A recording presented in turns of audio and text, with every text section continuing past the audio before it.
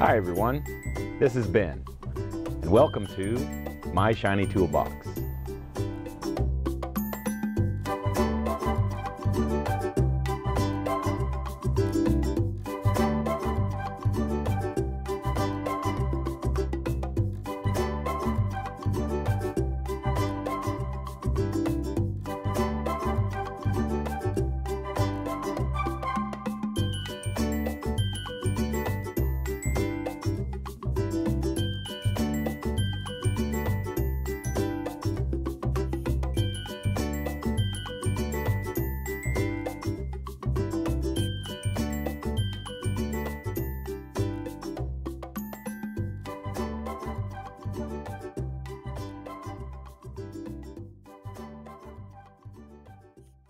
Today on My Shiny Toolbox, we're going to be doing two things.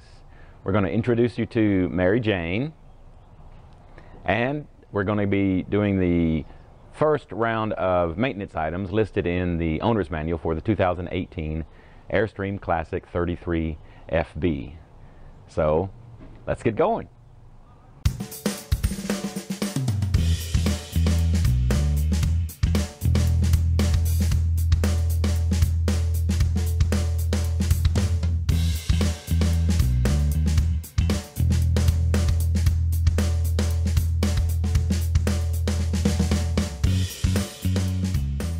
Here we have Mary Jane at home.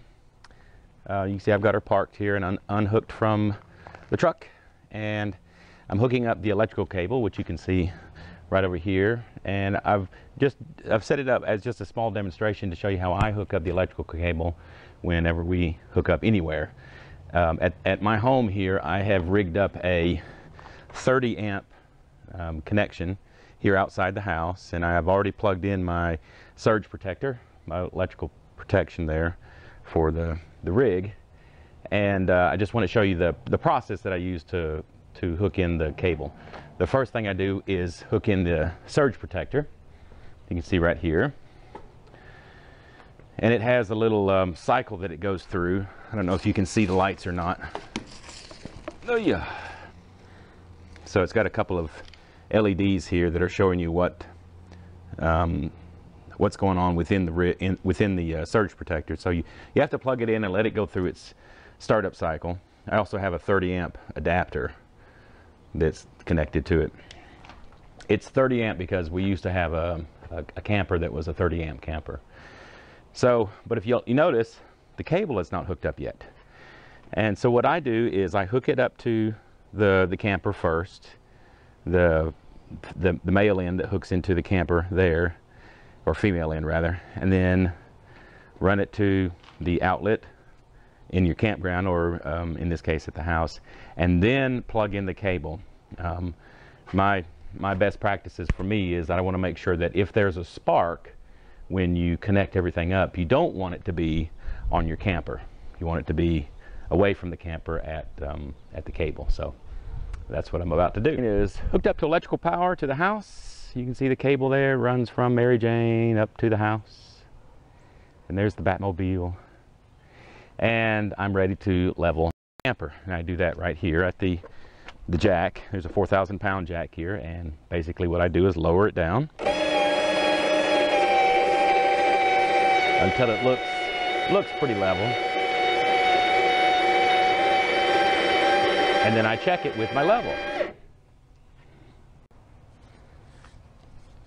All right, now that I've got it um, pretty well level, I've what I use is my um, little liquid level, um, and I put it on the door. I've discovered that my door, oops, I've discovered that my door, the the little uh, aluminum or chrome strip that runs across the door, is level with the floor. So all I have to do is lower the camper till it gets about level, and you can see there, it's level.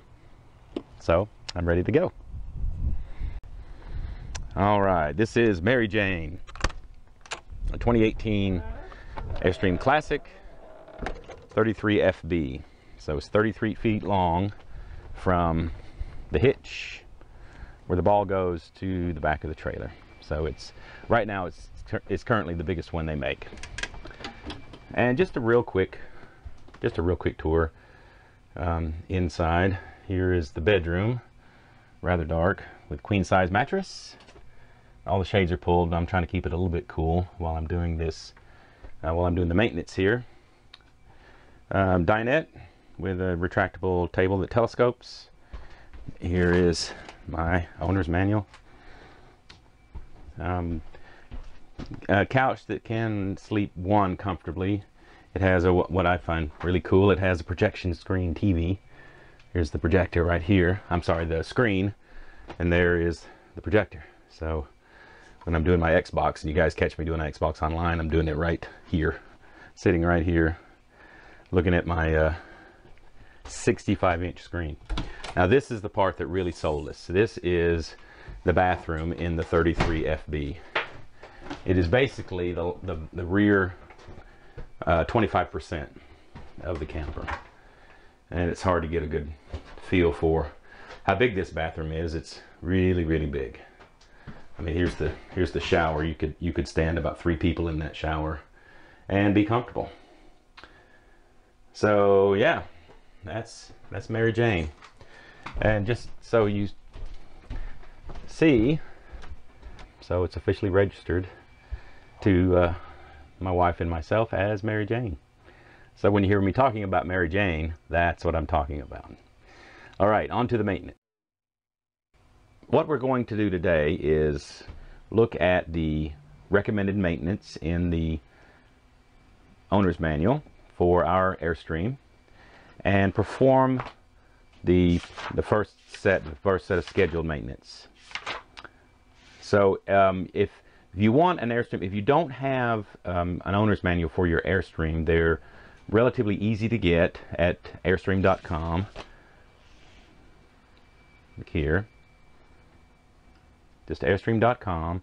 And there's a section in the the website that has all of the, the manuals. Ours came with our Airstream that we, because we bought it just last August, so we've had it a little bit over a year. Uh, but you can get one PDF um, directly from the website and you can print it out or keep it as an electronic copy. I, keep both, of course. Um, but in the owner's manual is is a section called maintenance and here's scheduled maintenance. And so what we're going to do is this first section. Every 1,000 miles or 60 days. So the things we're going to go through are we're going to check the operation of the escape window.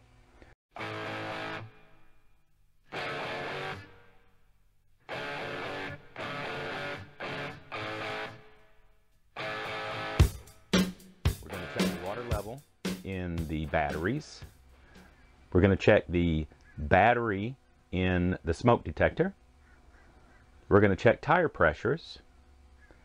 We're going to check around the hitch for loose bolts or unusual wear.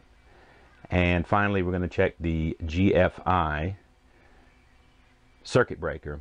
Um, what that really stands for is GF, it's really GFCI, it's ground fault circuit interrupter. And when we get to that section, I'll show you specifically how we're going to do that. Okay, so let's get to it. The first one is the escape window. What that maintenance item is telling you to do is check the operation of latches and the upper hinge. And the way to do that is to open the window. So I'm going to get my handy dandy tool for opening the window. This is my secret. This is my secret that I'm sharing with the world. This is a flexible plastic spoon. If you notice it doesn't have any sharp edges and it's very flexible. Very limber. Okay? So I'm going to keep that in my in my pocket just in case I need it. All right, back here to the window. And you know it's an escape window because it has the big bright red letters that say exit. The um, our model of Airstream has these 90 degree turn latches. See, they latch like that. And then you, when you unlatch it, my practice is to always press those handles down to keep them out of the way. And then to unlatch the window, you lift up on these two handles. And if you notice, it's kind of sticking.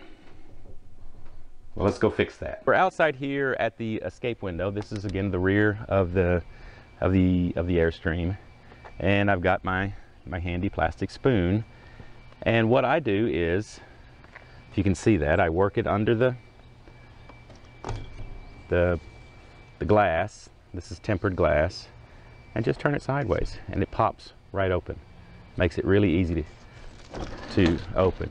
Now what happens is, this seal, this gasket, when it heats up, it becomes a little tacky, becomes a little sticky, and then it'll stick to the underside of the windows right here and make it a little difficult to to open from those from that from the, uh, the angle that you have the, the handles on the inside. So now that window should open it should open pretty easily. So let's go in and check that. Opens right up. And see that was just with one hand. So that, that worked fine. All right, we're inspecting the hinge here. No, no abnormal wear. Nothing in the way up here. It all looks pretty good.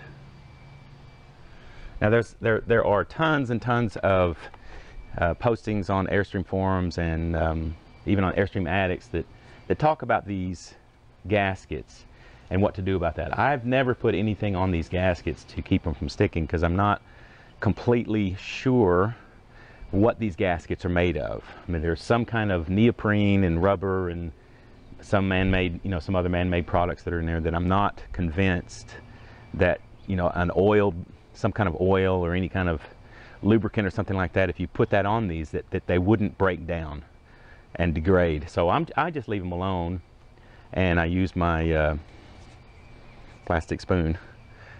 Uh, no damage there to those.